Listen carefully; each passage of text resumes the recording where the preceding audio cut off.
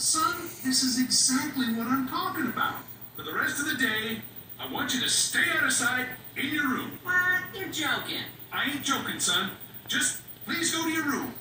You're serious? I can't believe it. Mm, All right, I'm going. I'll give you one last chance to change your mind. Um, excuse me. Uh, do you want me to go to Cricket's room as well? Hmm. yeah, I'll just go. What the heck is that?